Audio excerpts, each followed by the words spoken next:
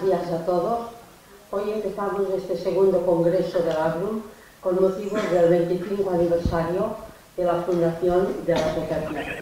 Entonces eh, nos encontramos que cuando hablamos del AGRUM hay gente que dice ¿dónde estáis? No os conocemos, no os hemos oído hablar eh, de vosotros y hoy pienso que con este motivo podemos dar un poco de pincelada de lo que es la Lo haré muy breve porque tampoco quiero quitar tiempo a nuestros compañeros. Uh, fuimos cuatro personas que en el mes de mayo, día 4, empezamos con esa aventura, con esa aventura de divulgar todos estos temas y más, porque va a abarca todos los temas, mientras sean serios y con personas competentes, y era un, campo muy virgen aquí en Manresa. Nos costó un poco abrirnos camino, pero bueno, estamos aquí. De estas cuatro personas, pues mm, empezamos esta aventura, como digo, y han venido gente importante. Gente importante que seguro que nuestros compañeros los conocerán o los han oído hablar. Solo diré algunos para que veáis eh, los temas que estamos tratando y que son muy diferentes. Empiezo con el profesor Lester, mm, astrólogo, eh, entonces este es el que nos dio el nombre del árbol. También digo esto porque em, todo el mundo dice labrum, ¿es de latín labre? No, labrum es una estrella de cuarta magnitud. Para que sepamos dónde podemos encontrarla, está en el sistema de cráter. Entonces, pues, él fue el que dio nombre y también vino a dar unas conferencias y cursos de astrología. También vino Josep Guijarro, también muy conocido, es periodista, escritor, es muy conocido por todos.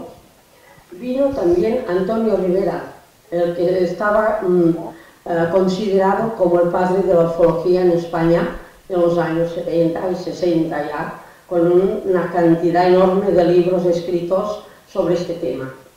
Vino Arcadio Oliveras, también que lo conoce todo el mundo por ser activista de Justicia y Pau, también presidente.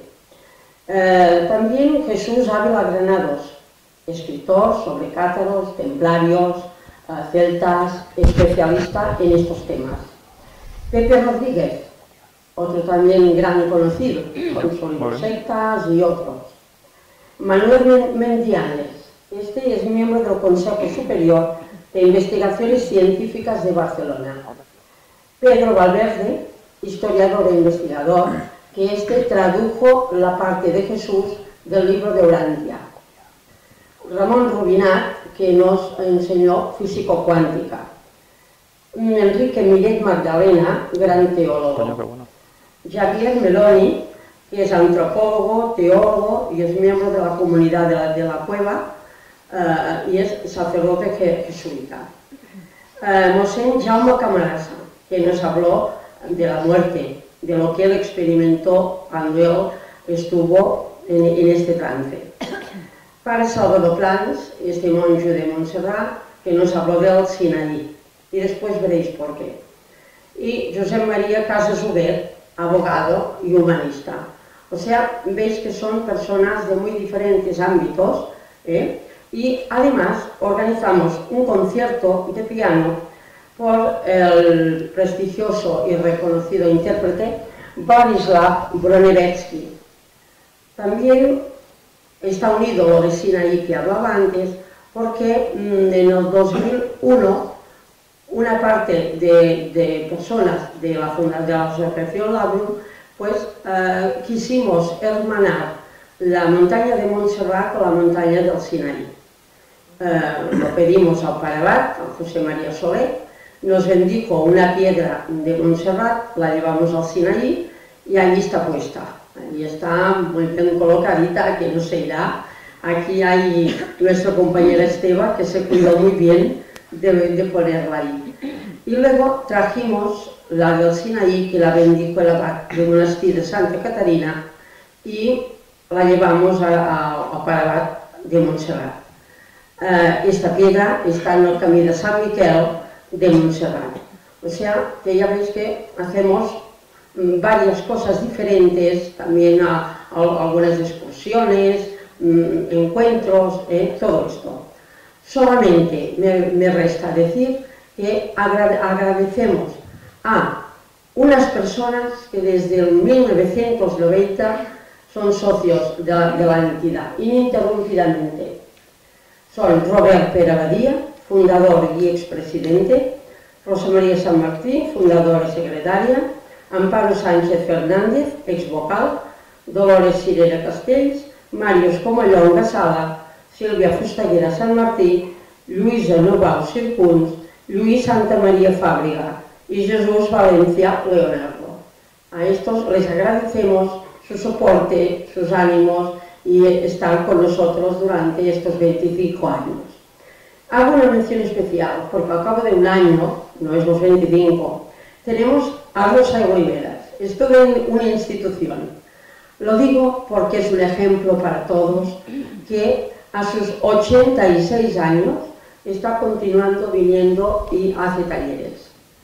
A las conferencias también, también asiste con aquel interés de querer aprender cada día un poco más, es un ejemplo para todos nosotros con su buen humor, con su buen hacer y también al, estar aquí 24 años, pues queremos agradecérselo.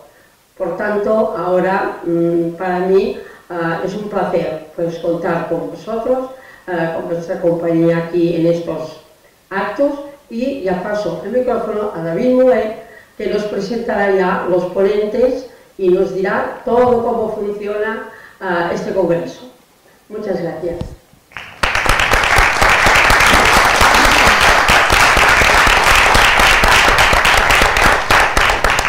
Bueno, pues eh, yo quiero empezar dándoles las felicidades ¿no? por los 25 años que llevan eh, la Asociación NAMI y para continuar también quiero darle las gracias sobre todo porque creo que si alguien se ha currado todo este, este congreso, de la Asociación Laurum, yo creo que es nuestra amiga Paula. Ay, sí, perdona. Me he olvidado.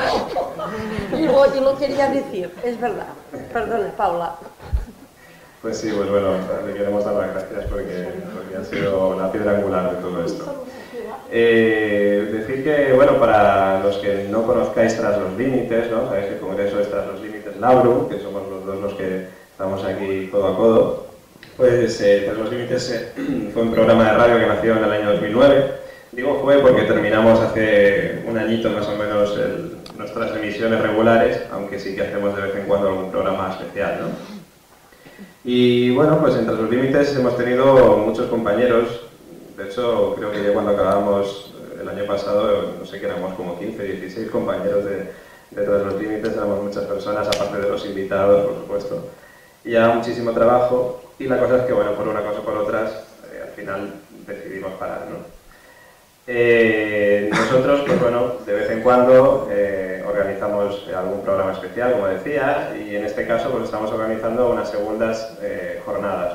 Hace un añito, en, junio del año pasado, estuvimos celebrando en Madrid, en Pozuelo Alarcón, el primer Congreso Solidario de, de Tras los Límites, ¿no? las primeras jornadas solidarias de Tras los Límites.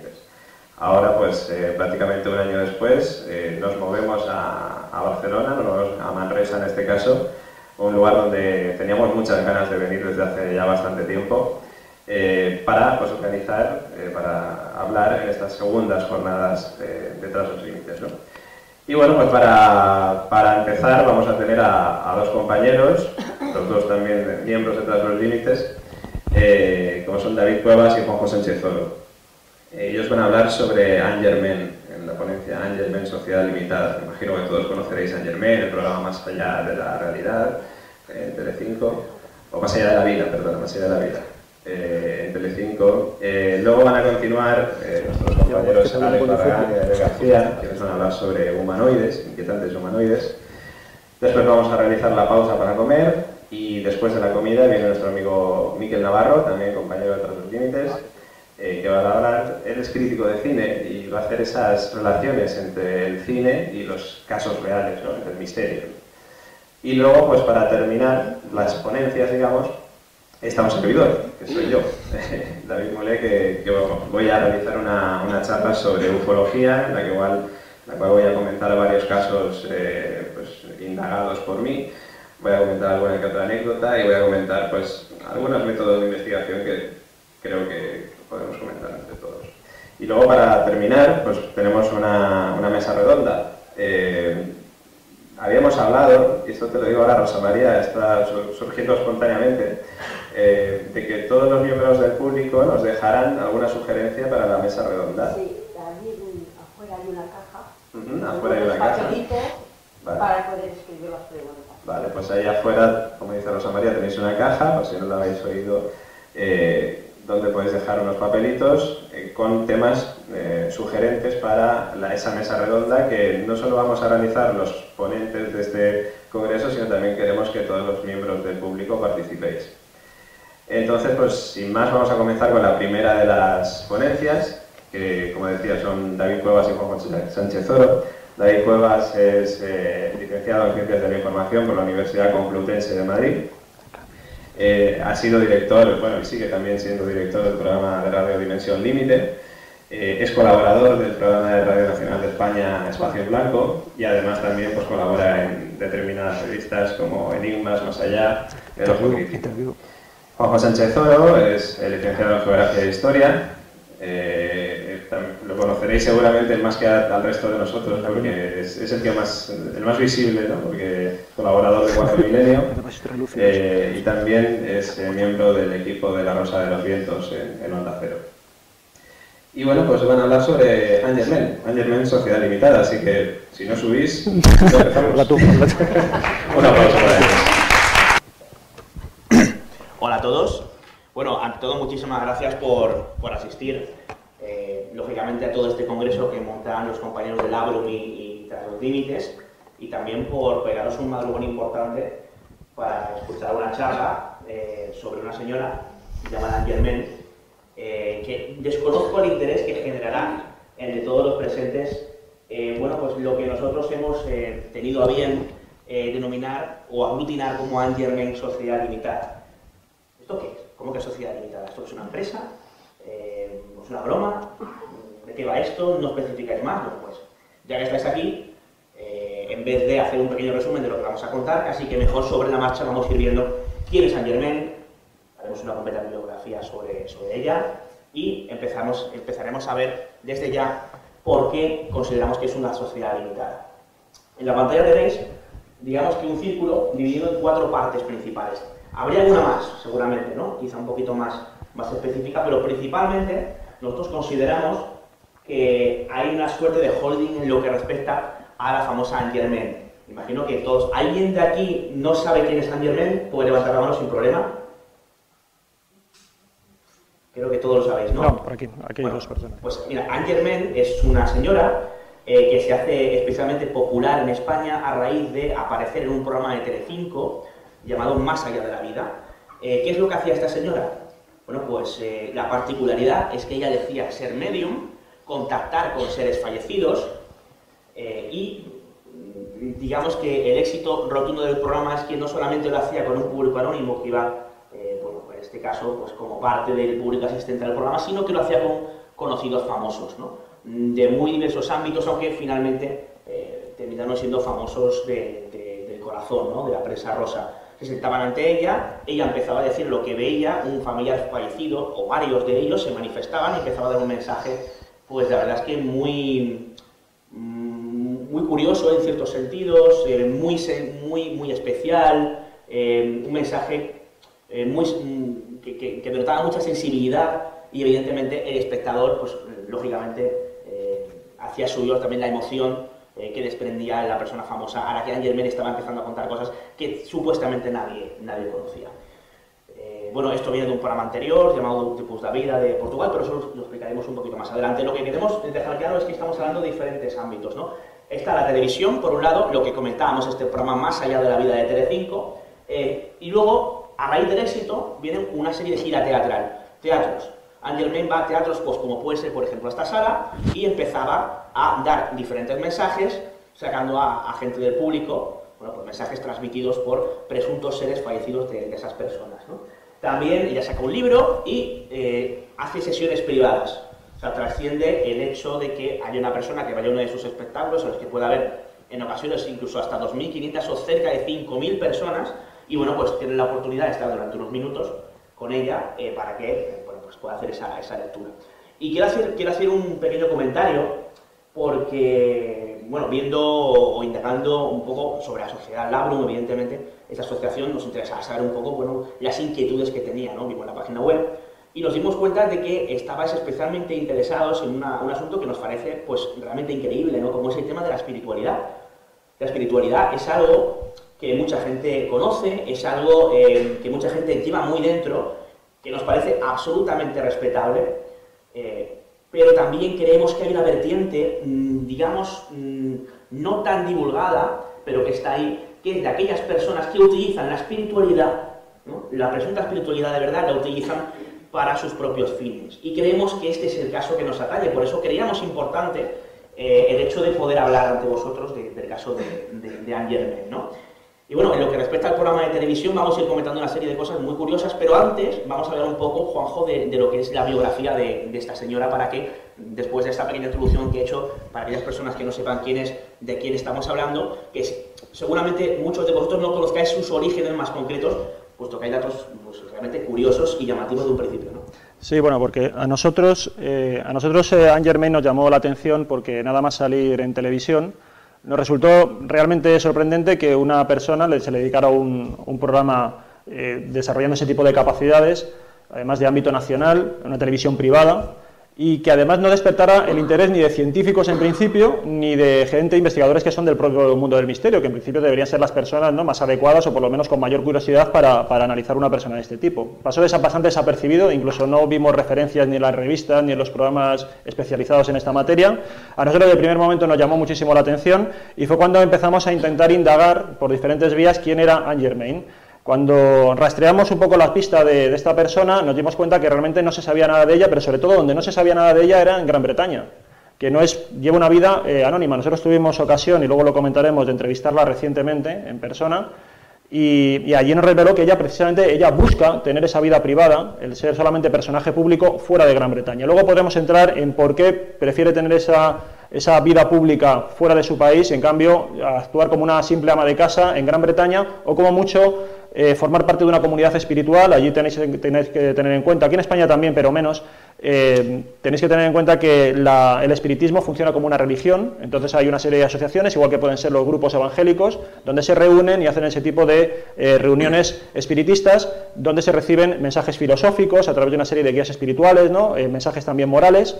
Todo eso se realiza y ella forma parte de esa comunidad espiritual, pero no tiene la misma, no hace esa misma actividad pública que luego nosotros hemos visto aquí en televisión. Entonces esta mujer desembarca en España, previamente había estado en Portugal, luego lo comentaremos, y nosotros empezamos a indagar eh, bueno, en su biografía. Y ahí vamos espigando diferentes informaciones de diferentes medios. La mayoría, naturalmente, son informaciones biográficas que ella misma cuenta. Por lo tanto, tampoco tenemos mucha posibilidad para poder contrastar esa información. ¿Qué es lo que dice Anne Germain de sí misma? Bueno, pues un poco ahí lo tenéis, ¿no? A través, como ponemos ahí, de diferentes páginas web, ella dice que, o se califica como que es una medium para los mediums, es decir, es una canalizadora, eh, que a través de la cual hay determinados eh, entes difuntos que se ponen en contacto con ella y ella actúa de portavoz de esos entes difuntos. Para hacerlo, a diferencia de quizás lo que estamos más acostumbrados también un poco por las películas, ella no tiene que entrar en trance, sino que directamente, como estamos aquí, bueno, y si lo habéis visto en el programa de televisión, directamente tal cual está aquí, empezaría a ver personas ¿no? que los demás no somos capaces de ver y empieza a interactuar con ellas, incluso a mantener diálogos, eh, les hace gestos, a veces incluso somatiza determinadas eh, situaciones que les manifiestan esos, esos difuntos. Por ejemplo, ella nos comentaba en la entrevista que cuando ve a una persona fallecida, ella eh, somatiza la forma en que murió. Incluso llega a oler determinadas situaciones, que luego también comentaremos, pero lo vive de esa manera. Y le da igual también el idioma, porque todos los difuntos le hablan en una especie de esperanto universal, que es un idioma espiritual. Por lo tanto, no tiene ningún problema tampoco en que haya un traductor eh, difunto también que actúe de mediador. Bueno, ¿qué, como decíamos, ¿qué es lo que ya se define? Medium para los medium, dice también que es hipnóloga para la preparación al parto, hipnoterapeuta clínica dedicada a solucionar determinados problemas pues, de obesidad, de sueño, autoestima, estrés, etcétera. También es maestra de Reiki y luego presume de tener más de 25 años eh, actuando como clarividente.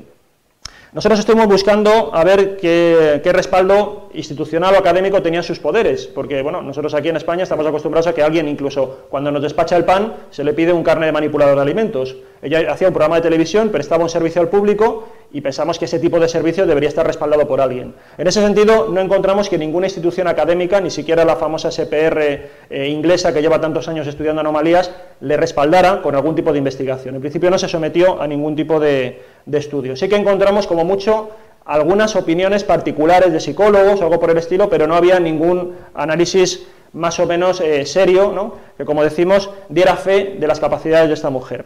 Sí que vimos que, o por lo menos se figuraba en su biografía, que estaba certificada en educación, es decir, que tiene algunos conocimientos, eh, algunos títulos académicos. Trabajó en una empresa de recursos humanos y holísticos, así es como aparece definida en Sussex.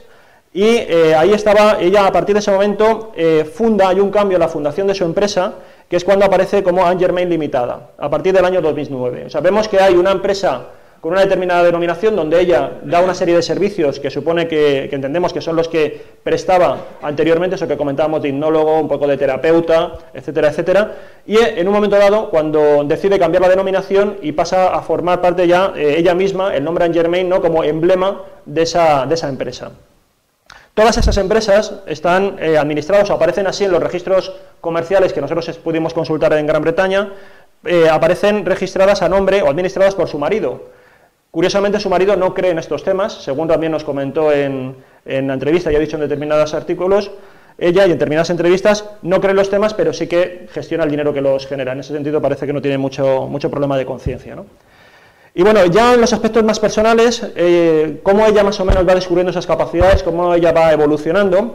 Bueno, pues nos contaba, bueno, como digo, en determinadas biografías hemos podido ver que al ella tuvo una primera experiencia espiritual cuando tenía dos años, ahí se le apareció a su tío fallecido y le explica, ese familiar fallecido, cómo murió. También le enseñaba objetos que tenían en su mochila. Esto demuestra que cuando, aquí interesa mucho ver cómo ella concibe el mundo espiritual. Se supone que cuando morimos nos llevamos determinados objetos, incluso algunos muy llamativos. Por ejemplo, ella tiene un guía espiritual que es su guía más personal, que ha sido una especie de maestro, y ese guía espiritual va en una Harley. Entonces la moto la lleva en el más allá sin ningún, sin ningún problema. Cuando, por ejemplo, no le gusta viajar en el metro, porque para ella percibir una sala como esta, eh, para ella siempre está llena de espíritus, de difuntos, en el metro dice que muchísimos más, y siempre ella recurre un poco a la expresión de que es como estar en un campo de fútbol. todos los difuntos empiezan a vociferar y ella tiene que empezar a prestar un poco atención, a focalizar la atención para poder captar determinados mensajes. Pero yo digo todo esto sin entrar en trance, como estamos nosotros ahora mismo aquí, ¿no? como vosotros nos estáis viendo a nosotros. Bueno, algunos aspectos así más curiosos es que ella quiso ser monja, le gusta rezar, pero eh, a partir de eso, de no realmente llegar a ser una religiosa en ese sentido, sí que por lo menos eh, intentó proyectar su vida hacia el servicio a los demás. Y eso es lo que ella realiza a través de su mediunidad. Y luego, ¿cuándo empieza ella a descubrir un poco estas capacidades? Pues porque se dio cuenta de que jugaba con determinados niños, pero que esos niños vestían, como ella decía, raro. Vestían de manera decimonónica o con trajes antiguos. Y entonces fue cuando se empezó a dar cuenta de que esos niños eh, eran niños que habían fallecido. Bueno, y eh, más o menos así en cuanto a sus algunas cuestiones así personales, actualmente como, decimos está, está, casada, no tiene hijos, aunque sufrió un aborto natural en 1985, y con ese, ese problema que tuvo, ¿no? con ese aborto natural, sí que fallece con el crío, o sea, perdón, fallece, sí que se comunica con el crío en el más allá, y dice que ese crío ahora está muy grande. Entonces también parece que los difuntos tendrían una cierta evolución en el más allá, estuvimos también en una sesión pública recientemente con, con Anne y ella comentaba que los difuntos eh, cambian de forma en el más allá. Por ejemplo, si un difunto muere anciano, pero se siente muy joven, puede adoptar la apariencia de un adolescente mientras está en la ultratumba. Entonces a veces es muy complicado llegar a saber realmente quién es quién por ese cambio, en esa metamorfosis espiritual que sufren cuando han fallecido. Bueno, y en principio, bueno, esos serían un poco así los datos biográficos más, más, eh, más interesantes. ¿no? Eh, a partir de ese momento, ya digo, esto es un poco la biografía personal, lo que ocurre es que ella desembarca en, Portugal y ahí crea un programa que es el programa de Pois da Vida, es el programa portugués, eh, tiene una primera emisión el 20 de agosto de 2010. Parece que incluso en un momento dado se plantean llegar al público brasileño, son también lusoparlantes, y también, como sabéis, bueno, pues en Brasil hay una amplia comunidad espiritista ¿no? organizada en diferentes religiones. Eh, y comunidades religiosas y parece que iba a dar el salto. Nos confirmó en la última entrevista que, que, tuvimos con ella que ese salto no se va a producir, al final no se ha realizado y no ha salido de momento de lo que sería el ámbito eh, portugués y el ámbito español. Es curioso, si os fijáis, eh, que el primer programa, emitido el 20 de agosto de 2010, obtiene un 20% de share. Eso es una auténtica barbaridad en lo que respecta a las audiencias. Una de cada cinco personas está viendo el programa Angerme. Y esto lo que genera es que empiezan a grabarse pues eh, bastantes programas ¿no? Eh, de estas características. Eh, en se grababan tres por semana de forma seguida. Eran grabaciones como tal que se emitían tras un proceso de lo que se conoce como postproducción, pues meses después, algunos, algunos de ellos. ¿no? El caso es que nosotros eh, quisimos mm, saber qué había detrás de esos programas. No se había especulado mucho al respecto, después de ver ese primer programa piloto que tanto éxito tuvo, de cómo lo hacía, principalmente en lo que respecta al público anónimo. Es decir, que esta señora supiera cosas de los famosos no nos parecía especialmente impactante, porque eh, es relativamente fácil conseguir información de los famosos, incluso hay un sector eh, profesional que se dedica especialmente a eso, como son los paparazzis, ¿no? Os sorprenderíais de la cantidad de información y de cómo lo obtienen distintas personas, y estos informes evidentemente se pueden realizar eh, sin mayor problema por una mm, pues, eh, acordada cantidad de dinero. Lo que nos interesaba era el público anónimo. Hay público que va al programa, esta señora habla con ellos y según se podía perder, el programa, pues ellos se emocionaban y cuando les preguntaba si se sentían identificados con lo que le había dicho Angermen, pues la mayoría de ellos decían que sí, y había dicho cosas que ella no podía saber. Ostras, pues nuestra curiosidad, evidentemente, nosotros nos calificamos como escépticos, no porque neguemos o reneguemos de las cosas, que eso es una falsa definición, sino porque dudamos de las cosas. Nos parece muy interesante que una persona tenga esas capacidades, pero queremos comprobar realmente eh, si realmente las tiene y cómo las, cómo las maneja. ¿Qué hicimos? Pues decidimos em, meternos en el programa de televisión. De forma que tanto Juanjo como yo intentamos acceder eh, pues a ese programa como parte del público asistente y poder así verificar eh, pues si realmente acertaba, como dice que acertaba, porque insistimos, es una grabación, no es un directo, con lo cual lo que se graba luego puede eh, tocarse o manipularse, evidentemente se recorta por una simple cuestión comercial o, de, agilidad ¿no? de, producto. Y bueno, pues eh, yo no tuve suerte, pero Juan José la tuvo y pues consiguió acceder al, al programa. ¿no? Aquí es muy interesante porque mucha gente se pregunta, bueno, ¿y cómo va esto? Tú vas allí, eh, te dicen que vayas y te plantas en el programa. Es un poquito más complejo. Lo que nos sorprende, primeramente, es que lo que nos dicen de entrada es que tenemos que superar, en concreto Juanjo, que sé que, que pues, eh, aceptan en este caso como parte, o como futura parte del público, ya veremos por qué lo de futuro, tiene que pasar un casting, un casting de público. No todas las personas eh, que, que se presentan voluntarias para ir al programa pasan ese casting. Eso por un lado, que eran los menos, porque por otro, en los primeros programas de Más allá de la vida, lo que había era público, vamos a llamarlo público profesional, gente que está metida en una agencia y que, bueno, a lo mejor es gente que está en paro, que tiene tiempo libre, quiere ganar un dinerillo extra, y bueno, pues esta gente a lo que se dedica es a ir a diferentes programas de televisión que hay que llenar, ¿no? Normalmente cuando vemos un programa de televisión con público, en algunos casos hay lista de espera para ir, pero en otros a lo mejor no hay gente muy interesada en llenar diariamente a uno de esos programas. Bueno, pues se tira de una agencia de estas características hay un casting de público. Eh, y bueno, y en este casting de público pasa una cosa muy curiosa, eh, y es que queríamos saber qué es lo que pedían. Pedían información concreta eh, sobre Angermen, en este caso sobre lo que la persona pensaba de Angermen, y lo que es más importante, pedían información concreta, personal, para que de alguna forma se pudiera filtrar a Angermen o no. Bueno, pues no es lo que parece en ese discurso inicial, Juanjo, no sé si lo tenemos por ahí para escucharlo. Eh, y bueno, para que veáis un, poco por dónde van los tiros. Quiero que vamos a escuchar, Juanjo, recuérdalo. Sí, vamos, nosotros todo lo que es el proceso tanto del casting como la participación que, hicimos dentro del programa, y yo iba con una grabadora oculta, entonces iba grabando todo el proceso, ¿no? y vamos tratando de documentarlo todo, porque nuestra gran finalidad era poder tener material objetivo para luego poderlo contrastar, ¿no? sobre todo porque pensábamos, sospechábamos que habría una gran diferencia entre lo que se grababa y lo que realmente se emitía, y queríamos saber por qué se producían cortes o por qué se editaba la información. ¿no?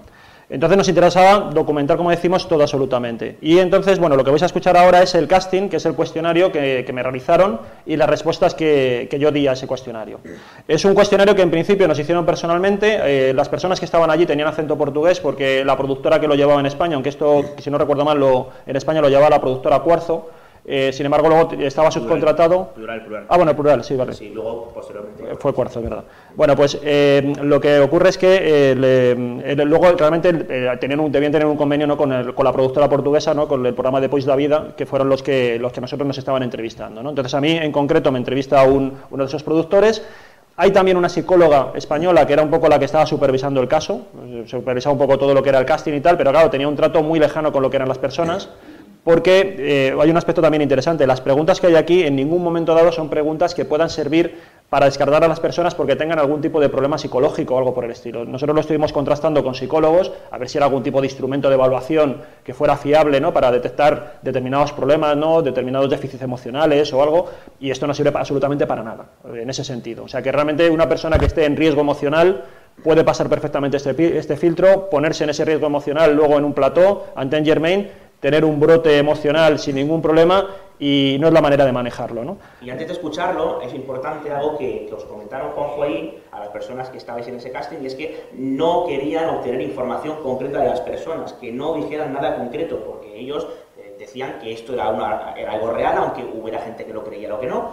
Pero ellos no pretendían sacar información privada que pudiera ser, digamos, que sospechosa posteriormente, cuando esa información apareciera los labios de Germain cuando hablaba con una de estas personas. Y, bueno, pues pasamos a escuchar ese largo cuestionario en el que se preguntan cosas que creemos bastante curiosas. ¿Le pregunta su nombre?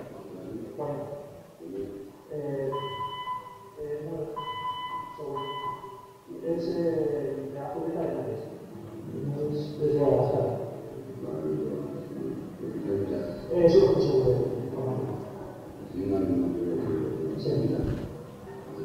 No.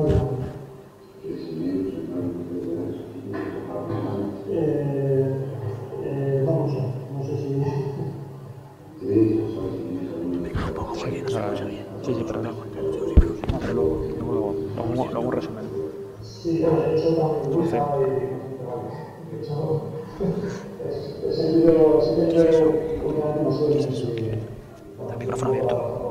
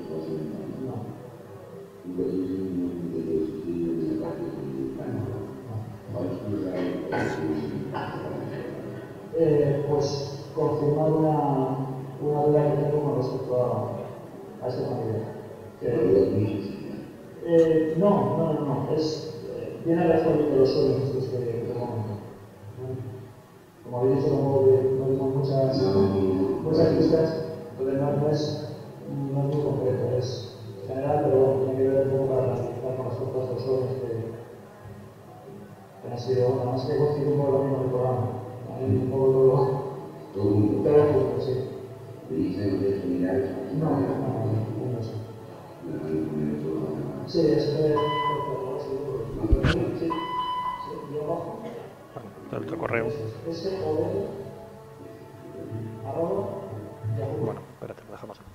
Bueno, más o menos nosotros eh, a la hora de pasar el casting, claro, intentamos pensar en una historia que pudiera ser lo suficientemente atractiva como para que pasáramos la prueba. Estábamos allí, creo que en torno a unas ciento y pico personas, tenían que seleccionar unas 70 y, claro, intentamos poner una especie como de cebo y en ese sentido lo que se nos ocurrió fue el decir que, que yo había tenido los- un sueño, lo que se escucha más o menos, eh, había tenido un sueño en el que se me apareció un familiar recientemente fallecido y que además ese sueño había coincidido con la emisión del programa de Germain. Entonces, bueno, un poco intentar unificar, ¿no? Le- buscar una conexión entre ambas cuestiones.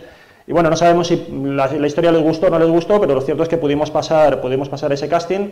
Y bueno, es eh, interesante porque como veis hay algún tipo de, de pregunta eh, que es, por ejemplo, nunca tuviste ningún intento de suicidio en ataques ni pánico, nunca te has sentido diagnosticado ningún tipo de perturbación mental. Vamos a ver, esto es como cuando tú viajas a Estados Unidos y te preguntan que si quieres matar al presidente. Hombre, si le vas a matar no lo vas a decir, ¿no? Es un poco absurdo. Entonces aquí igual, si tú has tenido algo, un intento de suicidio, pero tienes muchísimas ganas de estar con Anne Germain, evidentemente no lo vas a comunicar. ¿Para qué se hace esto? Sobre todo se hace más que de cara a intentar quitar a la persona de en medio, a la persona inadecuada de en medio, lo hacen para protegerse de responsabilidades penales, es decir, de que en un momento dado tú puedas denunciarles porque esa persona ha entrado en un estado psicológico no adecuado eh, a, raíz de participar en el programa. Y esto es una manera que ellos tienen de respaldarse, de, justificarse y no tener, por lo tanto, que luego hacer eh, frente a ese tipo de posibles denuncias. Luego también es muy, muy curioso cuando le pregunta eh, si tiene algún tipo de duda que consultar, él comenta que sí, y le pregunta si es una duda muy específica.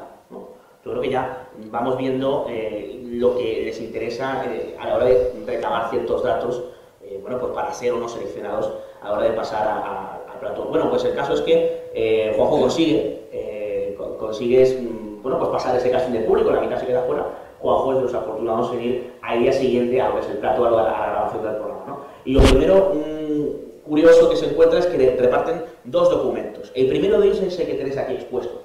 Esto es una lista de hospitales públicos y preguntáis, bueno, ¿por qué se entrega una lista de hospitales públicos? Pues porque ellos consideran que si, cuando, que si tienes la suerte, ¿no? entre comillas, de que Angelman te diga una serie de cosas y tú emocionalmente, em, digamos que no superas o no encajas demasiado bien lo que te ha dicho y, oye, puede pasar, te encuentras mal, tienes algún tipo de desmayo, em, algo parecido, ellos pues dan una lista de hospitales públicos para decir, bueno, nosotros hemos dado una lista de hospitales para que esa persona pueda acudir a ellos. Pero eso es muy interesante, porque estamos hablando de que un programa de una productora privada deriva a la sanidad pública por lo que pueda pasar en caso de que, en este caso, su protagonista, su producto estrella, como es Angerman, eh, bueno, diga algo que pueda eh, tocar la fibra emocional en exceso de la persona, la persona en sí. ¿no? Y el otro documento que se entrega es esto que veis aquí. Es una suerte de declaración de intenciones eh, es un poco larga, eh, pero vamos a leer, si te parece, el tercer párrafo que nos parece muy significativo. Sí, eh, bueno, una, una, cuestión también con lo, de, con lo del, que comentamos antes de, la hoja, la lista de hospitales, ¿no? eso realmente es, no es ético realizarlo. Es decir, cuando nosotros nos ponemos en manos de una profesional, de un psicólogo, para que nos gestione el, el duelo, para gestionar un poco terapéuticamente una pérdida de un ser querido, ese, mm, eh, profesional está además respaldado por un colegio de psicólogos, por lo tanto, si comete algún tipo de responsabilidad, nosotros le podemos denunciar, y es una persona que te va a estar haciendo el seguimiento durante todo el proceso. Es decir, no es que llegas tú, haces una sesión y te vas a tu casa, sino que te hace un perfil psicológico para ver qué peso tenía en tu vida ese difunto, para ver qué relación tienes con él, luego a partir de ahí ve un poco qué vacío te ha dejado y cómo afrontarlo, y es un proceso mucho más largo. Anne Germain no hace nada de eso, es una sesión puntual, eh, un tiempo de determinado y luego, como vemos, te derivan a la sanidad pública. Si has entrado, te has derrumbado emocionalmente, ya no es problema de ella. Allí también había una, psicóloga, como comentaba, que tampoco hacía nada del otro mundo, porque lo único que te hacía era consolarte en el momento si de pronto pues alguien también del público se derrumbaba después de haber hablado con Anne Germain, ¿no? Pero, pero hasta ahí va su... Eh, quiero decir, no, no podemos eh, justificar, ¿no? muchas veces se dice que bueno, ella lanza mensajes muy bonitos, eh, hace mucho bien y tal, bueno, pero es que no está haciendo una terapia auténtica. Una terapia auténtica es una cosa mucho más comprometida, mucho más complicada y nosotros tenemos que ser también mucho más exigentes de lo que le pedimos a Germain. Y estamos hablando al fin y al cabo de algo importante como es el duelo, como es una persona que ha perdido un, un familiar fallecido, un familiar muy querido y es importante. Es decir, no, es lo mismo que esta señora le diga, pues sí, veo que tienes una vida plena, eh, vas a ir a un partido de fútbol o te vas a reunir un tupper sex, ¿no? No tiene nada que ver. Estamos hablando de algo realmente serio y que, bueno, puede afectar psicológicamente a la persona. De hecho, esa lista de, hospitales. Bueno, comentábamos antes ese otro documento, que es una suerte de declaración de intenciones de Angermen, es un poco largo, son creo que eran 6-7 párrafos, pero el tercer párrafo creemos que es muy significativo. Sí, es, es una especie como de, de, velado contrato de servicios con Angermain, donde Angermain te va diciendo un poco a qué se compromete. Ya decimos que esto te lo entregaban cuando entrabas en plato, te ibas sentando en las butacas y a todo el mundo le recibíamos esto, este documento. Y aquí lo que dice en este párrafo es que eh, trata un poco de justificarse y cómo debemos interpretar esos mensajes. ¿no? Lo que ella señala ahí es que en algunas ocasiones eh, las pruebas que ya se supone que da no se son inmediatamente identificadas. ¿no? Puede suceder que el mensaje solo tenga sentido después de hablar con los miembros de la familia que añadan datos que usted desconocía o puede que la información la relacione más tarde. Por lo tanto, el mensaje que ella da es un mensaje que no es diáfano. Y es un mensaje que si tú en el momento no lo interpretas, no te preocupes, te vas a casa, hablas con tus vecinos, con tu familia, con tu familia política, a ver si ya de alguna manera entre todos somos capaces de identificar el personaje que hay ahí. Claro, esto como vemos es una situación muy interesante porque lo que ocurre es que la responsabilidad de adivinar ¿no? o de ubicar y darle veracidad a ese dato no recae en Anne Germain, recae en la persona, en el consultante. El consultante es el que tiene que dar sentido al mensaje. Ella simplemente lanza una, una imagen que puede ser una figura de un personaje de cualquier tipo, con un objeto en la mano, lo que sea, y resulta que tú lo tienes que intentar, eh, ya digo, encajar en tu vida de alguna manera. Y además por el rasgo de cualquier tipo. Nosotros se nos ocurrían cuestiones de, por ejemplo, que se te aparezca un difunto con un sombrero de mariachi y tú busques en tu vida si alguien va a unas vacaciones en México. Bueno, pues ahí ya estaré confirmado. O sea, ese es el, el grado de exigencia que tiene Anne Germain para que los mensajes se puedan verificar. No hace falta nada más, ¿no? Bueno, pues vamos a ir muy rápido porque hay muchas cosas que comentar y la verdad es que se nos, se nos agota el tiempo, ¿no? Eh, sí.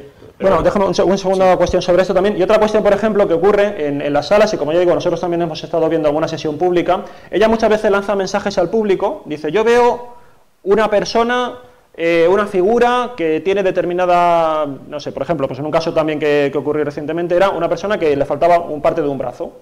¿Hay alguien en la sala, y estamos hablando a lo mejor de 200 personas, ¿hay alguien en la sala que haya tenido algún familiar que, que, haya, que, que sea manco, que haya fallecido y sea manco? Pueden contestar o no contestar. Es decir, ni siquiera es la que la persona, el difunto, esté al lado del familiar. Puede estar pululando en cualquier punto de la sala, ella lanza el mensaje al aire y en el momento en el que alguien se identifica, en ese momento se empieza a ya producir un diálogo más personalizado. Y en este ¿no? sentido, incluso también decía, veo un perro por aquí, el espíritu de un perro, alguien ha perdido un perro, Sí, pero ella, ella, defiende que los animales también tienen alma y entonces, por lo tanto, bueno, pues también eh, pueden estar en el más allá. Entonces, hay ya un poco, hay, redondeando un poco más el asunto, puede ocurrir que directamente, para que las personas no se sientan frustradas, porque luego hablaremos del teatro, la entrada a los teatros costaba en torno a partir de 80 euros, ¿no? Luego, dependiendo si te colocabas, eran precios de, pues eso, de estrella del rock, ¿no? Y, te daba igual, si te, variaba el precio si te colocabas más delante, más hacia adelante o más hacia atrás, ¿no? ¿Por qué? Porque claro, si estás hacia adelante, en principio tienes más posibilidades de que te saque. Por eso tú vas a una lotería, tú no vas a que realmente tengas una sesión privada. Tú vas, compras un boleto, a ver si da la casualidad de que te saca y a partir de ese momento te, eh, bueno, pues puedes mantener un contacto con un, un, un, ser, un ser fallecido. Y entonces ella dice que para que no te eh, frustres, si no ha salido tu mensaje, pienses que a lo mejor alguno de los mensajes que ella da, a veces y sin personalizar, puede venir de un ser eh, fallecido tuyo y que aunque no ha, no ha, cobrado, digamos, la forma completa, pero sí que es un mensaje que te puede, te puede involucrar de alguna manera o te puede implicar, ¿no? Entonces eso también en el contrato de servicios que nos da lo especificaba. Por lo tanto, como vemos, hay una serie de, de coartadas psicológicas, ¿no? Una especie de, de puertas de atrás o de retórica que ella maneja para que de alguna manera tanto los que son protagonistas al final de sus eh, actos como aquellos que pasan al final desapercibidos y no consiguen nada, bueno, pues se lleven de alguna manera algún tipo de consuelo.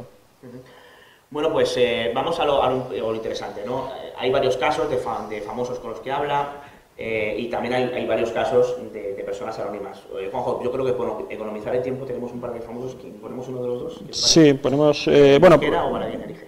Ponemos, vamos a poner lo de. Bueno, lo de Mosquera. Bueno, pues sí, bueno, es que si no metemos. Vamos a ponerlo de Mosquera. Vale, bueno, pues. Eh... Sí, esto es una cuestión, una cuestión un poco bueno, particular. Aquí tenemos a Raquel Mosquera.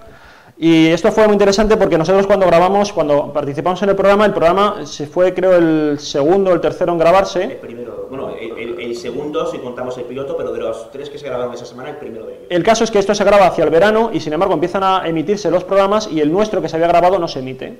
Y a nosotros nos chocaba mucho, porque es cierto que nosotros habíamos detectado fallos en la, en la grabación, fallos, quiero decir que, que Angermain se equivocaba. Y ese programa no se emite, entonces llegamos a pensar en un momento dado que ese programa pues no se iba a emitir porque no les gustó, porque Anne Germain no estuvo demasiado acertada y que el público además era público de la agencia, que podía venir, venía antes me parece que venían del pasapalabra, o sea que era un público que especialmente no tenía ningún interés, no sabía ni quién era Anne Germain, de hecho hubo una especie de conato de rebeldía entre el público porque la productora, la agencia que les había contratado les dijo que les iba a pagar una cantidad de dinero inferior a lo previsto, te pagaban creo que eran 30 euros y al final lo iban a dejar en 20 y entonces yo, el público dijo que, mira, pues no participamos porque esto no es lo que se había hablado, entonces no tenía ningún interés, sí, ni sabía que era Germain ni nada, entonces fue un desastre y absoluto. tan interesantes como es que nos dan una, en pasado palabra, nos dan Coca-Cola ya que no, así que no sí, vamos a parar. Preferían Antena 3. El regidor y los puso firmes claro, entonces hubo, el regidor dijo, bueno, ¿qué está pasando aquí? Tal, bueno, fue bastante. Entonces pensamos que no se iba a emitir.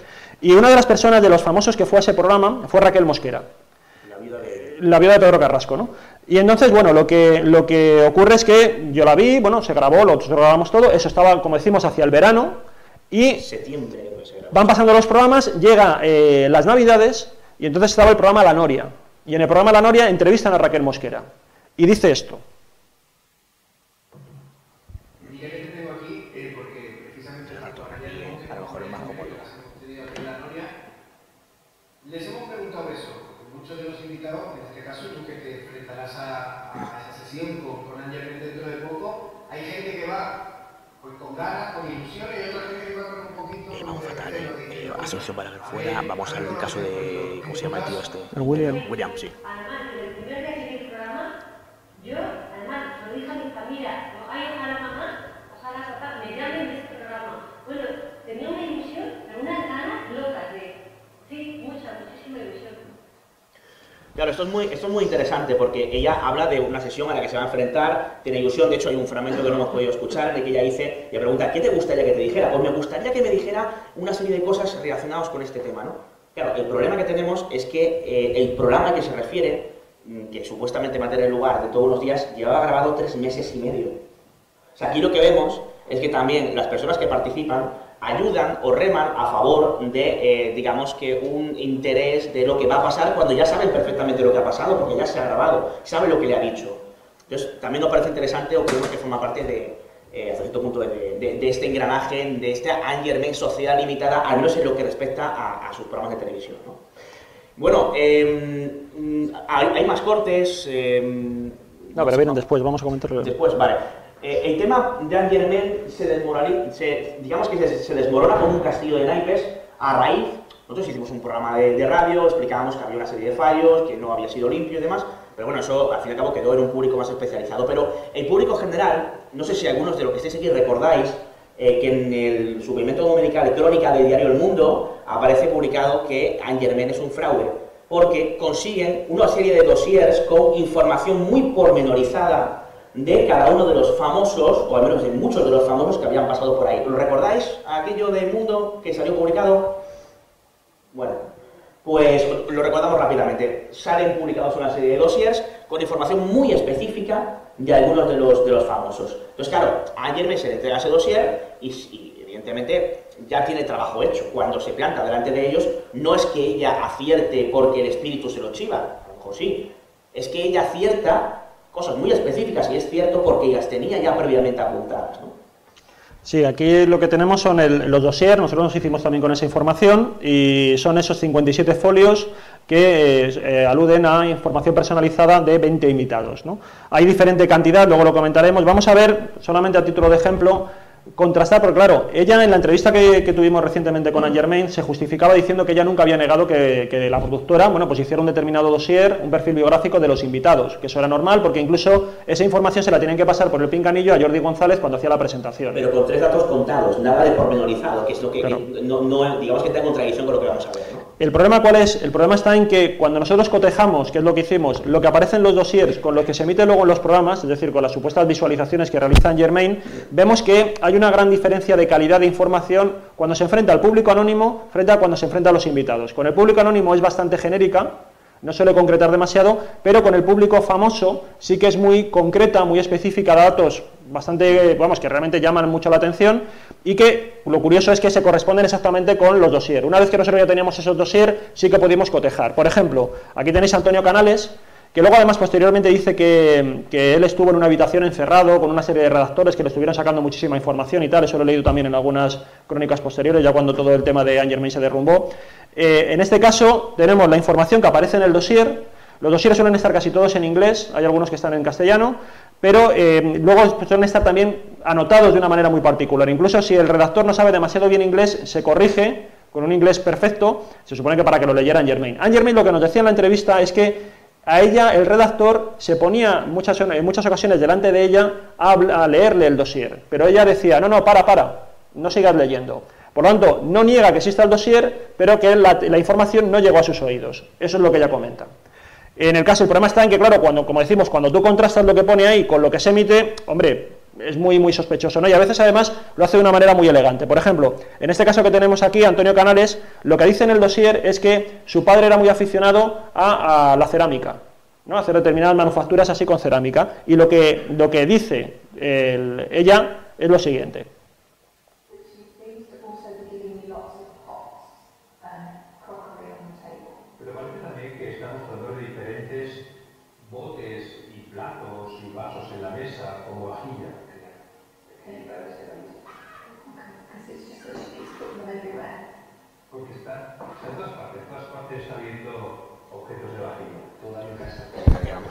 Vamos a ver, William. sí. Vale. Y ya, ya está, ya pasamos al teatro. Dice que alguien está pintando esos. Déjame comentar un poco por el estilo alguno. pasado. Bueno, aquí escuchábamos el caso de Antonio Carrasco, mm, muy llamativo ese dato que comentaba, ¿no? Sí, además literalmente pone eso en inglés, ¿no? Pone que se dedica a la, a la cerámica y bueno, pero todos son así. Por ejemplo, Mila Jiménez, eh, luego hace también algún tipo de visualizaciones un poco creativas. Por ejemplo, el caso de Mila Jiménez, lo que ocurre es que en, eh, en la información dice que su padre y su madre fallecieron. Su madre, eh, si no me equivoco, sí, su madre además había sufrido Alzheimer. Y entonces es muy interesante porque lo que ella hace lanza un mensaje unificando la información de una manera muy elegante. Bueno, no lo vamos a escuchar porque es un poco largo, pero lo que ella, lo que dice Anne Germain es que el, el padre se tuvo que morir también a continuación de la madre porque la madre estaba perdida y lo había olvidado todo en el más allá. Entonces, como conectó las dos muertes, la del padre y la de la madre, de esa manera, ¿no? Ya digo que, que hace algunos le hace algunas conexiones muy, muy elegantes. ¿no? Otro caso, bueno, también Carolina Cerezuela también le habla de, de un familiar desaparecido, también coincide a la letra prácticamente con lo que aparece en el dossier, y ya claro el caso de Santiago Segura. El caso de Santiago Segura es muy, muy representativo porque si algunos visteis el programa, Santiago Segura fue el que más enérgicamente dijo que no le había adivinado absolutamente nada. No había acertado ni una. Eh, lo que dijo es que había a veces que parecía como que se aproximaba un poco a algún familiar, pero luego se, se alejaba, no terminaba de encajar lo que le decía ¿no? con ningún ser querido que haya fallecido. Literalmente, más o menos lo que dice en el dossier es lo siguiente, dice, es la única persona, esto es extraído, lo tenéis en la parte, en la parte superior, es la única persona de todos los invitados que yo conozco que, del que no hemos obtenido ningún detalle, que no nos ha dado ningún detalle. Y no, hemos obtenido, lo, y no lo hemos obtenido después de arduas investigaciones. Esto es lo que dice el dossier. Y efectivamente luego eh, eh, Santiago Segura es una persona muy celosa de su intimidad y evidentemente no trascienden eh, determinadas informaciones públicas. ¿no? Nosotros cuando estamos con conseguimos entrevistarla y le preguntamos por ese tema. Bueno, ¿qué pasa con invitados como, como Santiago Segura? ¿no? Porque eh, nos comentas que aciertas eh, en todas las ocasiones, pero con él no acertaste. Y ella empieza a decir que, bueno, que Santiago Segura no había, sido, no había sido sincero, que tendríamos que haber estado en su camerino cuando su pareja le echa un, una bronca increíble por haberle dicho que, diciéndole que había sido muy grosero y que no había sido sincero y demás, ¿no? Un pequeño ahí, un conato de, de, de, de bronca casi que conyugal eh, debido a que él no había sido muy, digamos que muy elegante y porque él no había eh, reconocido lo que ayer me le había dicho, ¿no? Nosotros, bueno, ante esto mmm, conseguimos ponernos en contacto con Santiago Segura y nosotros le preguntamos sobre ello. Y Santiago Segura lo que nos responde, en resumidas cuentas, es que esta señora debería ser una novelista estupenda porque la capacidad de fabulación que tiene es admirable. Es decir, ha mentido absolutamente, ¿no? Y nos dijo otra serie, otra serie de cosas, pero por tema de tiempo, sí que luego en el turno de preguntas nos lo, nos lo preguntáis o lo hablamos después tranquilamente. Eh, pero pasamos a otra cosa que yo creo que es también muy interesante, ¿no? En este sí, bueno, y luego también con respecto a lo que era la documentación que decíamos de los dossier, es muy interesante cómo está marcada, como decimos hay varias manos que van revisando los documentos y nos encontramos algunas cuestiones, por ejemplo, aquí hay una nota destacada donde dice que se necesita confirmación de, que del padre, de, acerca del padre, estamos hablando aquí del crimen del asesino de la, de la baraja, y también dice eh, elementos personales y fotos. O sea, que se ve que cogían mucha información los redactores de diferentes fuentes, ¿no? Y no solamente sospechamos que estaban los dosieres en sí mismos, sino que también habría algún material adicional de tipo gráfico que acompañaba también esos dosieres. Nosotros, bueno, todo también hay que decirlo, hemos entrevistado también a la fuente que filtró los dosieres al mundo. Y no sé, bueno, nos estuvo comentando un poco en qué condiciones se hizo con esa información y tal. O sea que, en principio, hemos intentado ir cogiendo todos los hilos, todos los flecos de esta historia. Efectivamente. Bueno. Luego aquí, eh, bueno, lo que comentábamos, ella a partir de que sale todo este escándalo hace una serie de declaraciones públicas donde trata de justificarse y decir por qué ha, ocurrido esto y es más o menos lo que os hemos comentado con la información un poco actualizada de la última entrevista que, que realizamos. Si hacemos así un poco unas estadísticas ¿no? sobre los dossier, tendríamos 57 folios referidos, como decíamos, a 20 invitados y la media es casi 3 folios de información por invitado, que no está mal para teniendo en cuenta que lo, que lo que va a ser luego una sesión de televisión. Teniendo en cuenta que hay casos, por ejemplo, como el de Santiago Segura, que no llega ni a un folio, prácticamente es media cuartilla, Y tenemos el caso como el cordobés, que tiene hasta siete folios de información. O sea que así yo también creo que cualquiera podemos adivinar bastante, ¿no? Bueno, luego aquí, bueno, tenemos eh, algunas cuestiones aquí también, bueno, vamos a ir un poco deprisa, vamos a seleccionar solo alguna cosa. Eh, nosotros estuvimos viendo cómo se producía ese trabajo, ese maquillaje de la información en la mesa de edición, de lo que se grababa realmente en plató a lo que luego se emitía. Y se hacen diferentes cuestiones. Siempre se va cortando o se eh, altera en postproducción todo lo que se ha grabado a favor de la credibilidad de la medium. Eso lo podemos constatar. Es decir, por ejemplo, en este caso de Asunción Balaguer, la, viuda de Francisco Raval, pues ella, por ejemplo, directamente a Angermain le empieza a decir que eh, Paco Raval supuestamente la llamaba mi Cleopatra. Y ella decía que no, que nunca en la vida la había llamado mi Cleopatra, ni ella ni siquiera había actuado en el teatro como Cleopatra, ni nada por el estilo. ¿no? Bueno, eso no se emitió. Claro, nosotros como teníamos el bruto de, lo que se grababa, podíamos contrastar, pero, pero, a la gente no le llega esa información, ¿no? Y cree que casi, casi, casi que lo que está viendo en la tele es un experimento más que un espectáculo, que es lo que en el fondo es, ¿no? Y tenemos un caso también muy interesante, porque estamos hablando un poco de los famosos, vamos a escuchar el caso de, de William, que era público, una persona del público, además de, como os comentaba, en ese primer programa era de agencia, era un público que había venido antes de otro concurso, y que se encuentra en la siguiente situación ante Anne Germain.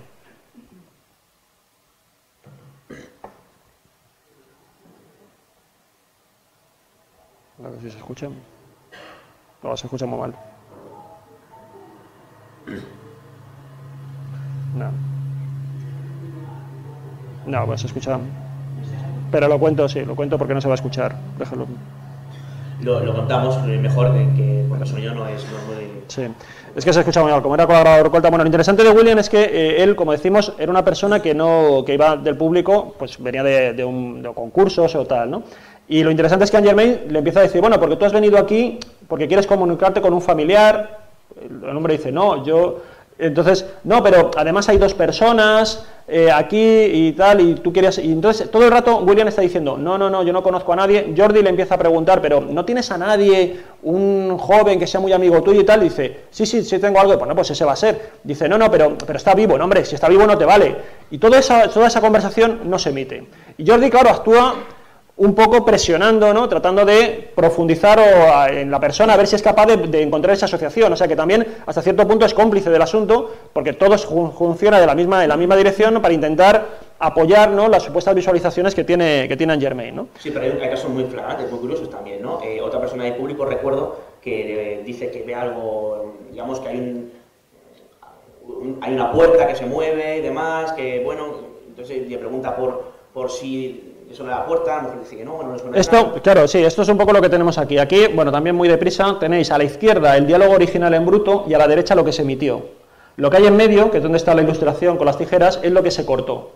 El corte que se hace, esto es una conversación entre Jordi y el público después de que Anne Germain ha tenido la, conversación con, lo ha hecho con sus supuestos difuntos. si vamos a escuchar, aunque no se escuche muy bien el primer audio, para que comprobéis la longitud del primer audio y cómo queda el segundo, y luego lo explicamos si te parece. Bueno, es que no sé yo si se va a escuchar, vamos a ver. Vamos a intentarlo. Bueno, seguís, seguís este, el texto lo tenéis ahí.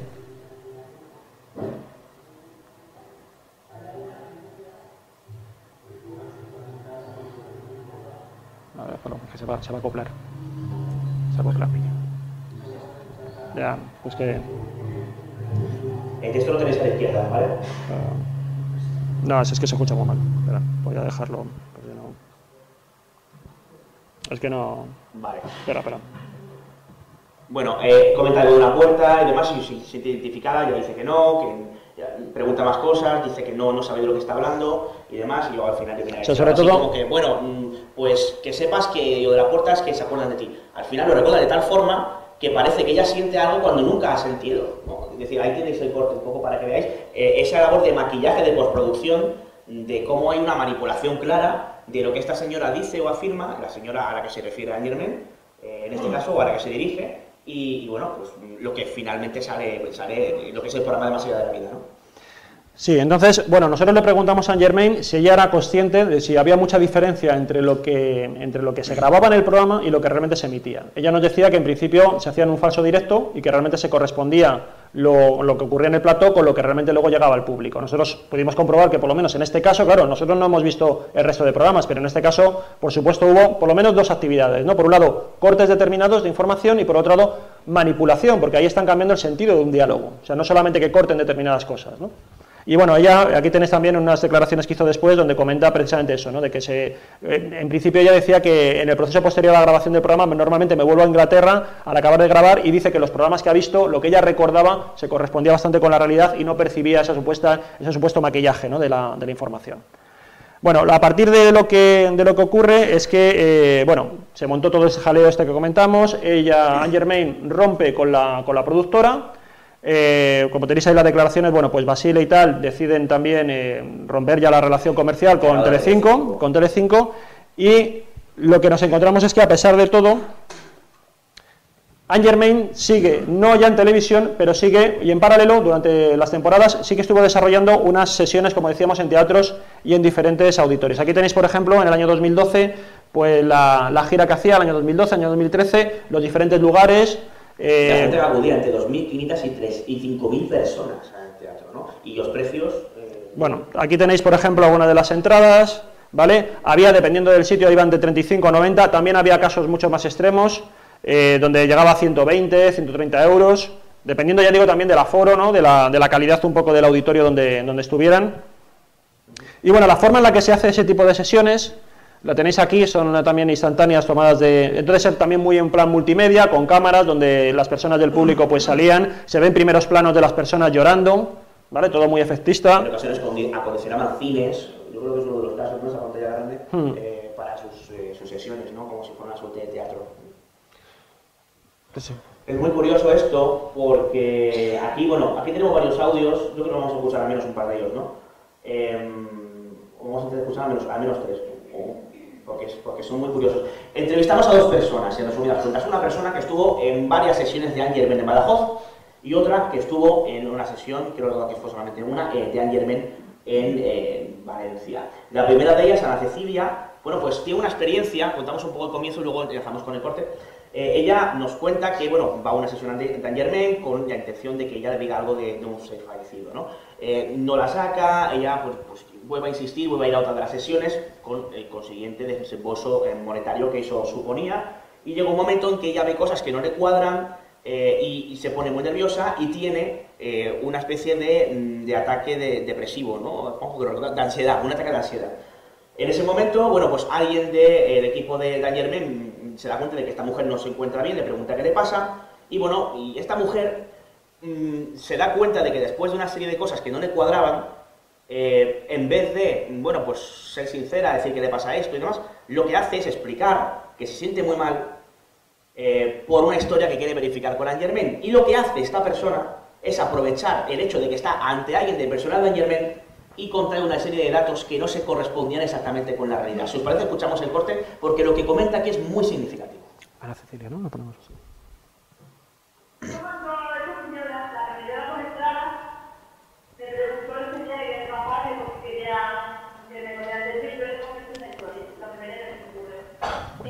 Cuenta los demás. Que cuenten los demás y basta. Corta lo de, de que regañan a No sé cuántos son 30 segundos. Eso lo ponemos estaba mucho de menos, que si la identidad de mi gorda, que si me había visto mucho de cuando el programa que llevaba, que si estaba no, no vamos tan mal. Sí, media. Y de mí todo eso. Vamos a dejar media hora para que la gente pregunte. Entonces, yo más de caso, de momento, cuando Vamos a hablar, ¿no? Sí, o sea, media hora. Pasamos a hablar el resto. Entonces, caballero, que lleva el mundo espiritual y 18 años, murió cuando era muy pequeña. Puede ser una abuela y un padre. Total, al poco tiempo me dice, es mi niña. Y ella decía, mi padre decía que tú eras mi niña, entonces ya dijo que era mi padre.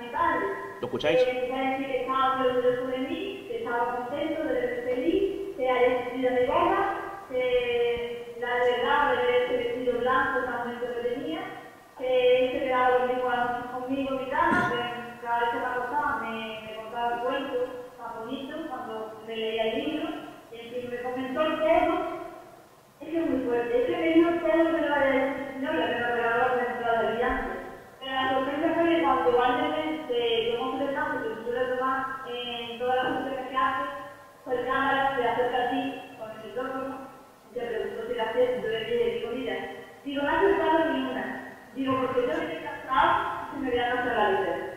Le digo, entonces, puede ser al igual, alguien, o no, alguien no. Ella me estaba diciendo de la edad, que había mucho de cosa, que mi padre me había dicho cuando era así, me dice que el padre de la vida está acostado, y está sentado en mi casa y me ha leído el libro de mi casa, jamás en la vida, porque no se la leí.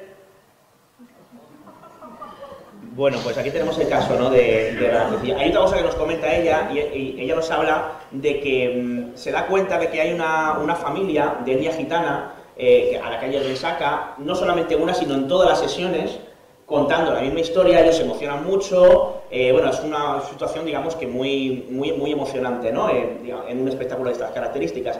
Y ella mm, se da cuenta de que hay una serie de conversaciones que tienen por teléfono, diciendo algo así como que, bueno, sí, sí, ahora estamos aquí en Badajoz, pero mañana vamos a no sé dónde y demás. Y, y olió un poco raro la historia. El caso es que hablamos con María, otra persona eh, que, que, a priori no, no tenía nada que ver con Ana Cecilia, aunque luego se ponen en contacto a raíz de ver ciertas irregularidades en Valencia, y ella nos comenta algo que tiene que ver con, con una pareja a la que empieza, o, o a alguien a quien Anne Germain sí, bueno, pues se dirige y empieza a decir una serie de cosas, eh, bueno, pues mmm, digamos que mmm, un tanto sospechosas. Escuchamos el corte.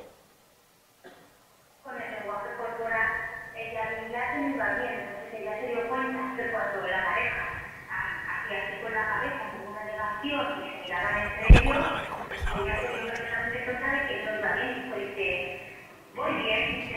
Déjame comentar un, de Ana Cecilia ahora. No, dice, bueno, pues, párate a pensarlo porque tal. Y entonces dijo, hay algo que no hacemos nunca en el mundo espiritual. Y yo ahí digo, que me quiero. Dice, pero ¿me puedes decir con qué energía quieres contactar? Sí, tal así fue. Y entonces la, la mujer dijo, conmigo, que se muerto. Luego que sacó a cuatro personas de las mexicanas que sí que me conmovieron bastante. Porque claro, les dijo que tenía un peso en el pecho, que, que sentía como joven, que había estado como que veía una moto y un motor encima de ellos, cosa que nadie tenía un accidente de moto. Entonces sí que ahí ya me descolocó porque digo, vaya, pues eso, ¿verdad?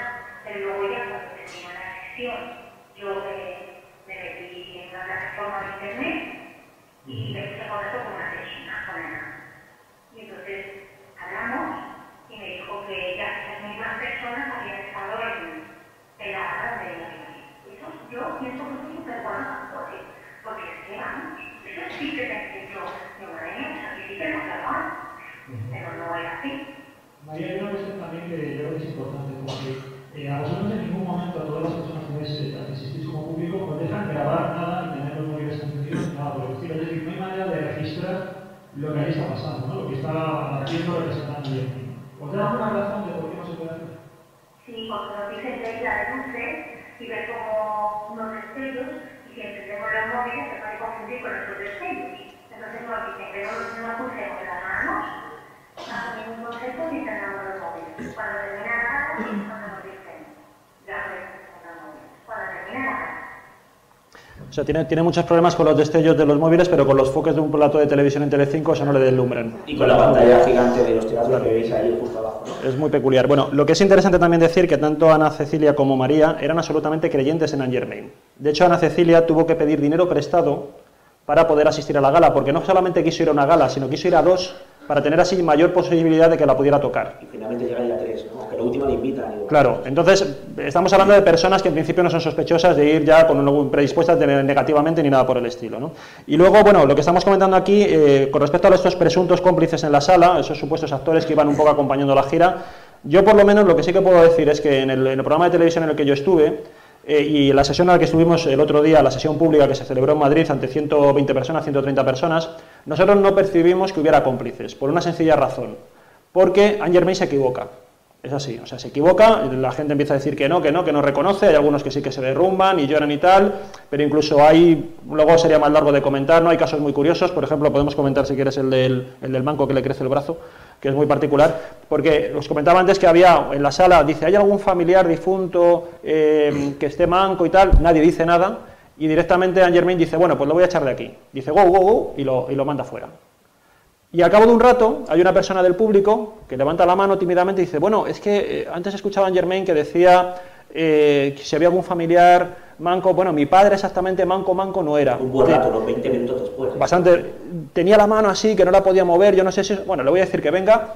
Entonces, bien, efectivamente, de aquí ha crecido ya el brazo y efectivamente era el padre de esa, de esa mujer, ¿no? Es decir, ella va modelando la figura, la figura del difunto en función un poco de, los, de, los, de la- lo que va comentando la gente, ¿no? En ese sentido se va adecuando y tal, ¿no? Y, y es muy curioso porque hay ocasiones en las que ya, claro, es muy interesante lo de los teatros porque aquí no hay un proceso de postproducción posterior.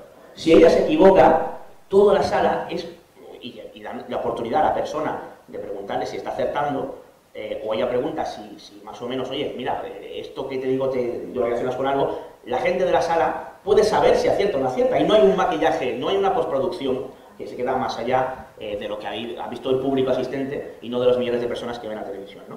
Pero es muy interesante eh, porque en una sesión en Albacete, eh, bueno, pues ella eh, había, estaba ante un público de unas mil personas aproximadamente, ¿no?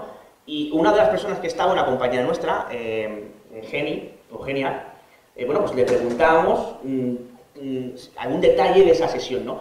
Y es muy curioso como Anne Germain, cuando no acertaba, bueno, además, mira que lo tenía complicado, porque decía, veo a alguien de estas características en, en el centro más o menos del público, y a lo mejor había unas 400 personas en el centro del público. Bueno, pues aún así no tuvo, no tuvo su día y no, no, dio, no dio ni una, ¿no? En la mayoría de las ocasiones. ¿Cómo, ¿Cómo reacciona? ¿Cómo se justifica Germain? Bueno, pues esto es lo que nos contaba genial al respecto. Eh, Eugenia, ¿tú viste que alguien en algún momento justificara, eh, no sé, de alguna forma sus equivocaciones? Porque según comentas, no sé si Eugenia Hernández. ella era consciente acertaba porque quizás eh, la persona del público al que se dirigía sí se lo evidenciaba. ¿Ella lo justificaba de alguna manera? Sí, en alguna ocasión eh, incluso regañó al, espíritu que estaba viendo porque decía que le estaba engañando, pero lo que estaba diciendo no era, real. Eugenia, ella regañaba al espíritu porque eso era su forma de justificar que no había acertado. Claro, como que estaba mintiendo. Bueno, es- es- en fin, no, no vamos a decir nada, nada más, ¿no? Eh, bueno, continúa la noticia sobre el Sí, bueno, ya a partir de, de todo el escándalo que ocurre también con lo de Telecinco, eh, la Medium Anne Germain ya empieza a salir, suspende las actuaciones en España, se supone que por pérdidas, eh, hace un comunicado también eh, oficial en el que más o menos la productora decía que se desmiente que la gira se haya cancelado, pero lo cierto es que ya no, se, ya no siguió adelante. Dijeron que bueno que había una serie de, problemas. A nosotros en la entrevista que tuvimos con ella recientemente le preguntamos por qué se había suspendido y decía que bueno que ella no lo tenía claro, que no se le había dado ninguna explicación, o sea que realmente la gira se canceló en contra de lo que, de lo que decía este comunicado público, por ejemplo, y que eh, bueno pues ella lo, lo entendía que quizás podía ser un poco por la crisis mm, que por la crisis se había suspendido ese tipo de espectáculos y bueno, y ahí más o menos nos lo, nos lo dejó. ¿no?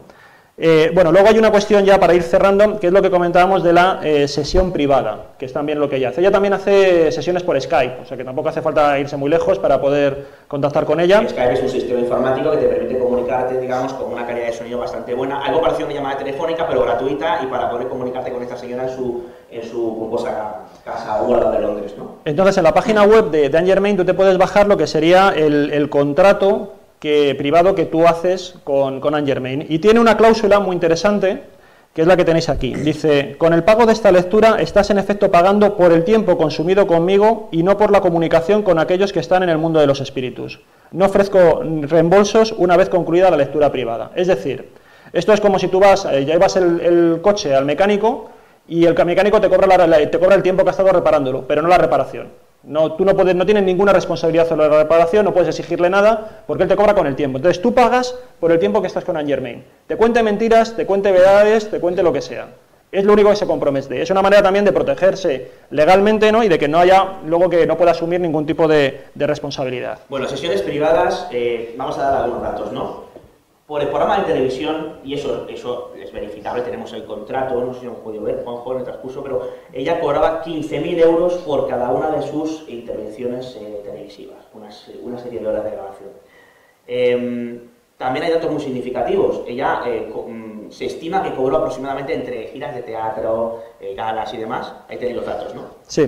Eh, bueno, pues mm, yo creo que Son, eh, se calcula, estos son eh, también determinados, unos 510.000 euros, por programas de televisión en torno a 390.000 euros, y bueno, ahí estaba la cifra, que eso sí que lo tenemos a través del contrato, que eran 15.000 euros por programa. Ella- Había grabado 26 programas. De hecho, ya pedía que uno tiene cuatro estrellas, eh, un, un vuelo en primera, primera clase, tenemos acceso a ese, a ese contrato, ¿no? Y en cuanto a las sesiones privadas, eh, la persona a la que entrevistamos, eh, la fuente eh, que, que citó esos dossiers, que tuvo pues, bastante contacto con Angermen, porque al final vamos, estaba trabajando codo con codo en el mismo programa ¿no? de, de- de la propia Angermen, Le preguntamos por las sesiones privadas cuánto cobraba en aquella época por una sesión privada y nos, nos- era muy clara, porque conocía a alguien que podía estar interesado y demás, entonces y, bueno, pues, pues preguntó, ¿no? Oye, eh, eh, la persona, "An, eh, vamos a ver, eh, ¿cuánto cobras por...? Y especificó, cobraba 300 euros por 20 minutos de sesión privada. Bueno, sí, es- 300 euros por 20 minutos. que Ahora es- imagino que cobrarán. Pero a ver, es, es larga distancia la llamada. Sí, no, no, bueno, pero 300 euros, sesión privada en persona. Claro, imagino. pero a llamar al más allá es, ¿sabes? Ya. Puede estar fuera de cobertura. No hay prefijo, no hay prefijo. Porque No lo sé. ¿Se llama coro revertido? Sí, sí, sí. sí. Bueno, Pues está- vamos a ir acabando. Eh, bueno, también está el libro, ella sacó un libro, ¿no? En este caso, Sí. Más allá de las, de las lágrimas, libro que, bueno, pues tuvo eh, bastantes ventas y de hecho se vendía eh, bastante precisamente en alguna de sus, de sus eh, actuaciones públicas, ¿no? Y llegamos, eh, como decíamos, conseguimos entrevistar a, a Germain, eh, después de haber estado en una de sus sesiones eh, pues, públicas, también entrevistamos a la Mami Ortiz, que es la, la periodista que eh, bueno, pues, se encargó de, de- del famoso reportaje de suplemento crónica, de que debía los dossier que antes comentábamos. También teníamos ocasión de hablar, como decíamos, con, con este hombre, con, con Santiago Segura. Eh, y también, eh, bueno, pues con esta persona que fue la fuente, eh, este trabajador que estuvo con, con, Germain, ¿no? Y queríamos, pues, entrevistar a Germain para que nos confirmara ciertas cosas y, ante todo, y sobre todo, nos interesaba mucho que hubiera mucha cordialidad en esa entrevista porque queríamos comprobar por nosotros mismos si Germain pues acertaba o no acertaba, porque hasta, hasta entonces lo que tenemos son otras historias, tenemos otros testimonios, los cuales confiamos lógicamente, pero siempre pueden estar sujetos a interpretaciones, a ciertas discrepancias, a ciertas, no sé, vamos a decir que a ciertas historias eh, que puedan ser más o menos discutibles, ¿no? En cuanto a los detalles. Una persona puede decir que Anne Germain y ha dicho esto y no le ha acertado tal cosa, pero Anne Germain puede decir, no, no, claro, pero es que tú estás mintiendo, o es que, claro, es que tú no has interpretado bien, o es que tú eres un desinformador y quieres ir contra mí. Aquí tenemos la oportunidad de que Anne Germain nos contara directamente a nosotros eh, algún tipo de mm, adivinación o de evidencia mediúmnica sobre alguno de nuestros familiares eh, eh, fallecidos. Ella accede, dice en principio que va a hacerlo en muy breve espacio de tiempo, luego la verdad es que se anima bastante, lo vais a poder escuchar en este audio, es un poco largo, unos 3-4 minutos, pero de verdad que merece, se escucha muy bien y merece la pena. Primero eh, se eh, refiere a Juanjo y luego se refiere a mí. Vamos a escuchar el audio y luego explicamos o damos ciertas, o matizamos ciertas cosas que ahí, que ahí aparecen. ¿Te parece, Juanjo? Sí, hay una, un primer audio que sí que es interesante, que es más breve, que es que le preguntamos si realmente a Germain, en algún momento dado, le preguntamos, bueno, pero tú te equivocas alguna vez o los espíritus te pueden engañar, se vuelven traviesos y tal, y eso es lo que ella nos dice.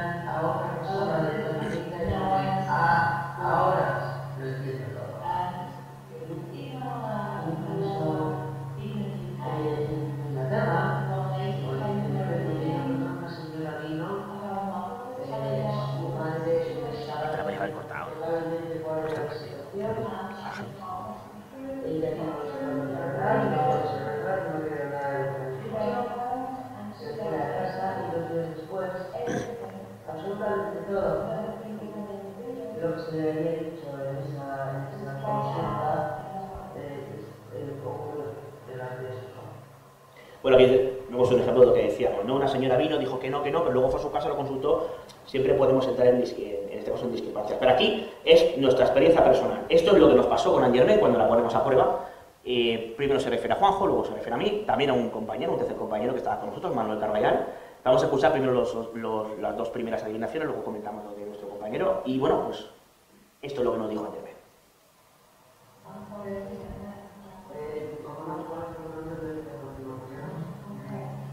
Eh,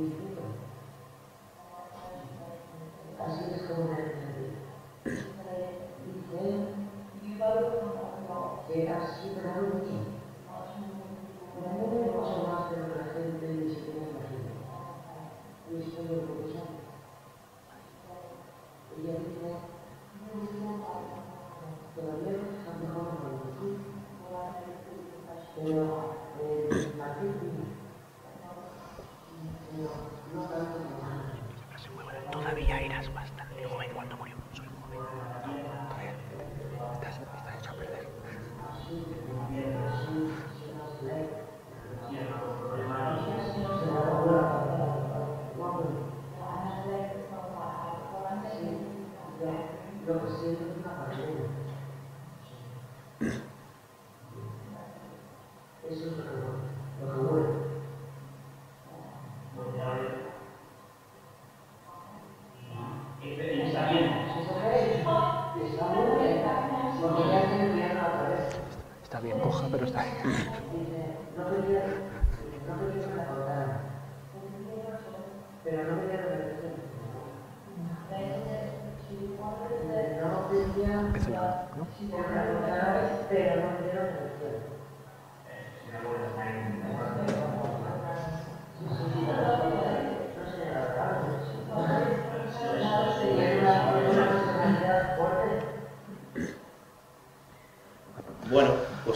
lo que nos decía eh, Juanjo. Eh, sí, bueno, a mí eh, básicamente los datos que daba al principio una persona mayor, un hombre que había muerto precipitadamente, una especie de asfixia sin esperarlo. Esa persona además decía que estaba por los datos que daba, y ella misma luego confirme, confirma, era mi padre, y además eh, por los datos que daba, pues decía que se, veía que estaba muy, se sentía muy orgulloso de, mí porque me había quedado consolando a mi madre. Y bueno, además yo le pregunto pues, si tiene alguna especie de marca en la mano izquierda, eh, ella dice que sí, que efectivamente tiene esa marca, incluso que bueno, mi padre se avergonzaba de llevarla y por eso no se remangaba nunca ni llevaba ropa de manga corta para no mostrarla. Bueno, eh, lo que ocurre es que básicamente mi padre está vivo, nunca ha tenido una marca en la mano, nunca. Nosotros lo que hicimos fue precisamente para, para recuperar, para intentar reducir esa ambigüedad que ella da en los mensajes pues ponerle que eso se hace en cualquier tipo de, test o de herramienta psicométrica, pues tú metes una serie de pruebas de veracidad o de preguntas de veracidad. Nosotros para, evitar, yo digo, que esos mensajes tan difusos, pues la, concretamos y yo le, sugiero el tema de la marca y ella perfectamente se engancha al tema de la marca y profundiza diciendo que mi padre se avergonzaba, etcétera, etcétera.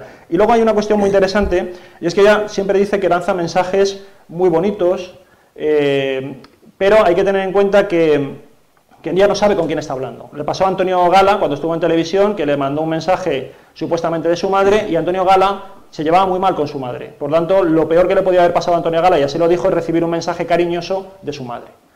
A mí no es que me doliera mucho, pero da la casualidad de que yo perdí a mi madre con 18 años. Entonces yo con quién me quedé fue con mi padre, no con mi madre. Y entonces dice que se siente muy orgulloso desde más allá, mi supuesto padre, que no sé quién es, tendré que hablar con mi padre, a ver si hay otro padre por ahí raro, eh, que tenga una marca, no sé, y, eh, pero Venanza el mensaje se siente muy orgulloso por haberme quedado con mi madre, es que es todo el contrario, o sea, no dio ni una, ni una. Entonces, además aquí no cabe ambigüedad, no cabe que yo luego hable con la familia o, no sé, mire en el registro civil, porque es que ella me llega a concretar lo de la marca, que evidentemente es un cebo que le pusimos y que se enganchó. Claro, yo no sé, ella... Bueno, ¿qué os parece lo que decía Juanjo? Un poco fuerte, ¿no? Bueno, pues a mí me dice que ve una mujer, confirma que es mi abuela, pues resumiendo, eh, y bueno, pues eh, que era una persona pues, eh, que me quería mucho, que me llamaba mi principito, y yo le pregunto por esa marca de veracidad, porque a mi abuela, yo pensé, Juanjo le ha comentado un tema de una marca, tonterías. Mi abuela le faltaba la pierna entera. La pierna, perdió la pierna. Dice sí, que efectivamente, que, que veo como ella perdió la pierna y que olía la gangrena. Y que luego aparece de nuevo la pierna, lo que decía el corte, ¿no? Bueno, pues mis dos abuelas están vivas y enteras, completas. con sus dos piernas. ¿vale? Ninguna de ellas me ha llamado jamás mi principito, a menos que yo recuerdo. Le llaman su rey, pero principito... su rey de sí. Em, entonces, claro, aquí em, tenemos un problema. Es decir, es que mis dos abuelos sí han muerto, pero mis dos abuelas no. Es que no dio ni una, es que no se puede hacer peor. Entonces tenemos a alguien que utiliza lo que se conoce como visión fría, es decir, viendo tu alteración o la forma en la que tú reaccionas cuando te dice algo. Eh, por ejemplo, eh, a ver, mm, te ha tocado la la primera fila, por ejemplo, esta chica de azul. Yo te digo, eh, veo a alguien que has perdido, has perdido a alguien, alguien muy maternal, muy maternal, has perdido quizá tu madre, y tú, me dices, no, tu abuela, tu suegra, Claro, cuando veo que acierto por ahí, empezó a decir, sí, efectivamente, y de hecho ya te quería mucho, te quería mucho, y dice que tiene algo tuyo, y que tú te quedaste con algo suyo de recuerdo. Es decir, está utilizando la visión fría, tiene ambigüedades, que es muy normal o muy lógico acierte. En este caso es que no da absolutamente ni una. Y luego al compañero que estaba, Manuel Carballal, le dice, bueno, pues que ve un hombre joven que murió con una moto, claro, casualmente Manuel Carballal llevaba el casco de moto al lado, ¿no? Son estas casualidades que pasan. Eh, una persona que muere, que le echa mucho de menos, bueno, pues no se siente identificado en absoluto y además si lo dice, no, no, no sé de quién me hablan, no conozco a nadie de esas características, murió alguien de mi familia, pero ahogado y nada que ver con una persona joven y no, no tenía reacción conmigo, o sea, nada, absolutamente nada. Y bueno, ya para terminar, eh, comentaros una de las cuestiones de por qué ella no ejerce en Inglaterra y sí que ejerce en, España, Portugal. En Inglaterra tienen desde el año 51 una ley contra el fraude, fraude mediúnico, que está además recogida recientemente desde el año 2008-2009 en lo que sería la legislación de, protección del consumidor. Por lo tanto, como nosotros no tenemos aquí este marco legal, pues aquí puede acampar a sus anchas sin ningún problema, pero en cambio allí en Gran Bretaña dice que quiere ser una ama de casa. ¿No se extraña que en Gran Bretaña no haya habido ningún show de? Haya tenido que ir directamente a Portugal y luego a España. De hecho, el apellido Germain es de su marido. Aquí no la, allí no la conocen por el, por el apellido Germain. ¿no? Allí maneja su, su apellido de soltera. De hecho, cuando el mundo fue a, investigó el tema y mandó un corresponsal a Londres para preguntar por ella en el barrio, preguntaba, sí, Anne Germain, Germain, es una medium. Yo, ¿qué medium? Si hombre, esta señora sabemos quién es, no tiene nada que ver con medium. ella o sea, no es en absoluto conocida en su país como medium, porque si lo fuera y eventualmente pues, hiciera sus cosas ahí, tendría que probarlas. Y bueno, pues eh, para acabar, para quien quiera más datos, porque hemos hecho un resumen muy rápido, eh, hace unos días pues colgábamos un programa, eh, nuestro programa Dimensión Límite, en el que eh, hablamos precisamente de todo esto. Podéis escuchar la entrevista completa a Yerbe, la entrevista completa a la fuente que nos comenta el por qué pues, fita los dossiers y otra serie de cosas muy curiosas, como por ejemplo que en los contratos de los famosos había una especie de contrato de emoción, es decir, eh, si no lloras no cobras, lo que nos cuenta, ¿no? Y otra serie de cosas muy, muy interesantes, ¿no? También lo que cuenta pues, Santiago Segura, Ana María Ortiz y, bueno, pues también algunos cortes de esa sesión eh, pública en la que ella, bueno, pues mm, va, si no acierta, es muy interesante ver cómo, cómo, se defiende, lo hace bastante bien, o sea, tiene una gran capacidad de improvisación, por todo esto y mucho más podéis escucharlo en, en, en Dimensión Límite. Así que, eh, cerrando con una frase, la decía Eddie Michel, él siempre decía que hay que eh, estar abierto a todo, investigarlo y no creer en nada. Yo creo que es un muy buen ejemplo de lo, cómo tenemos que actuar ante esta gente que coge la espiritualidad en la que muchos creéis y la convierte en lo que acabáis de escuchar. Muchas gracias.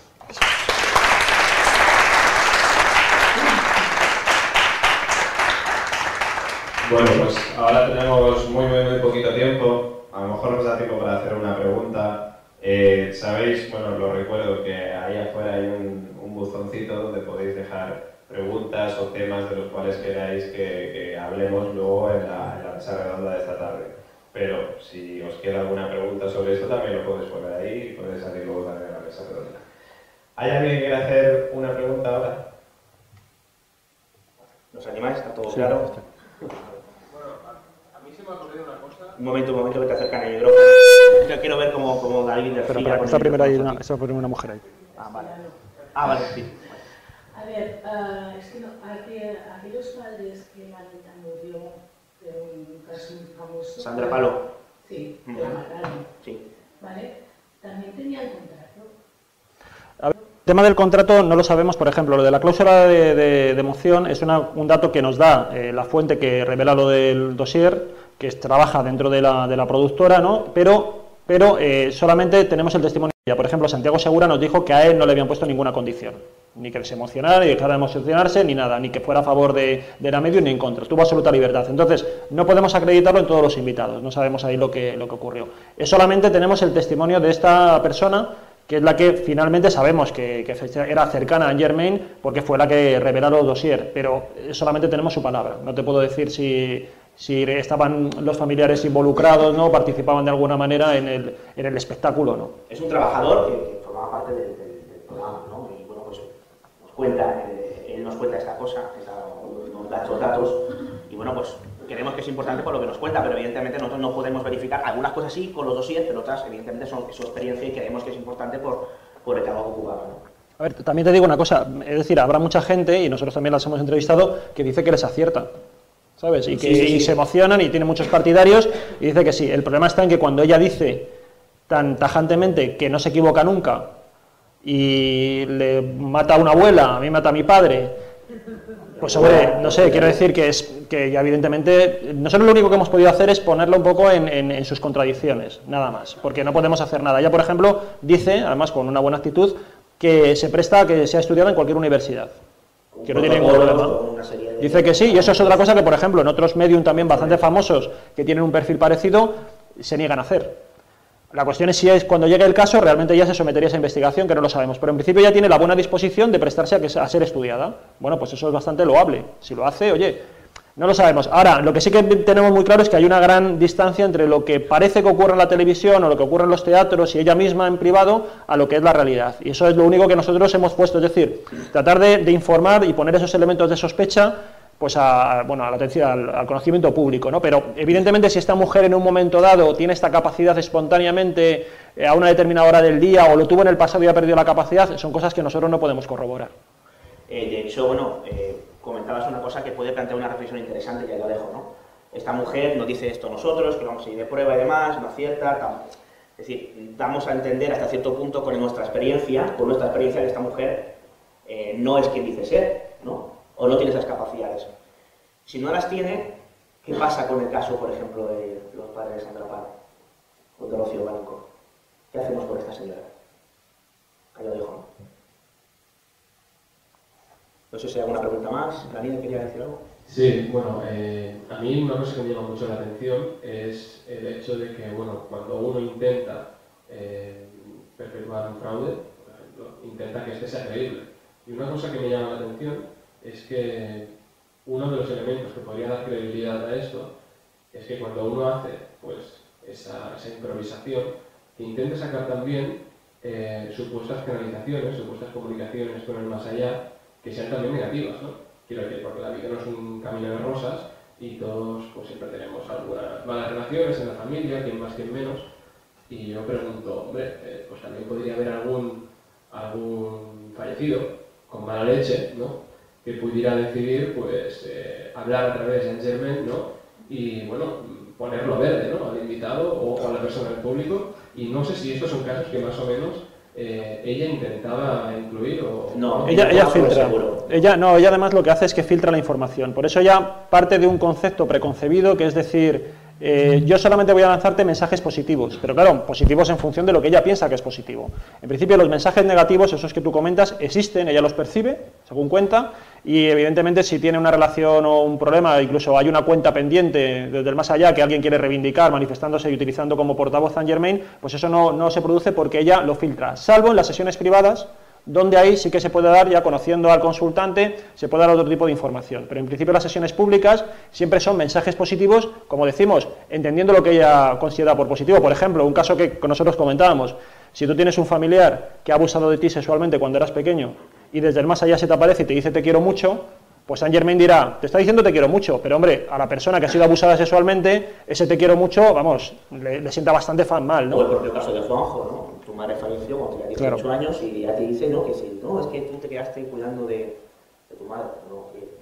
Quien a lo mejor ha sufrido un trauma que no ha superado por esa- ese fallecimiento de, de- en este caso de tu, de tu madre, que no es el caso, y a lo mejor cuando te dice, no, no, porque tú te quedaste cuidando de tu madre, su madre ha muerto, ostras, un poco...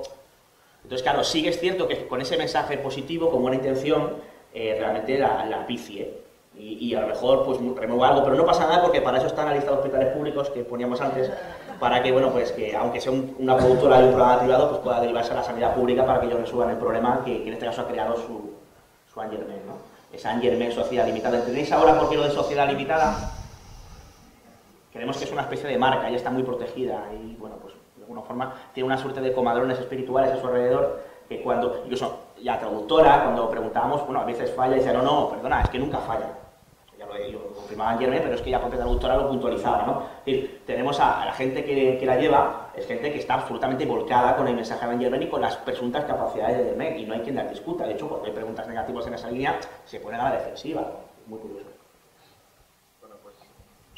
Si, si en Dimensión Límite, el programa que dirige David Cuevas en el que colabora Juan Sánchez Toro, tiene su medium, es Angermen, muy famosa en España, Entre los Límites, programa en el cual también colaboran ellos y el cual dirijo. Tenemos también, Juanjo y yo, a, a la que dicen que es la medium más famosa del mundo, Marilyn Rosner, que a mí también me mató a mi pobre abuela, abuela, a la cual llamé después para confirmar que seguía viva. Yo también lo hice, amigos ahora, por ¿estáis bien? Claro, ¿Estáis bien? Después de que te digan eso, tienes que confirmarlo, por supuesto. Sí, sí, a mí también me mató. Oye, ante la duda, oye, tú ya sabes, ¿no? Y que los tragan. Claro, claro. Y ahí Juanjo tiene poderes sanadores Sí. ocultos con sus manos. Dijeron que tenía capacidad así de imposición de manos, o sea que si luego queréis a alguien que os imponga las manos, pues estaré ahí fuera un rato. No sé para qué usarlos porque no me Sobre todo concretó. si, si son chicas solteras. Yo de en le pido me duele la cabeza que me ponga las manos, pero no, No funciona, no funciona. Pero es por tu culpa, porque no tienes fe en mí. porque no tengo sentido. Ya. Es por eso. Yo no es fallo. por eso. Bueno, pues vamos a hacer una pequeña pausa de 10 minutitos y volvemos enseguida con Alex Barragán y con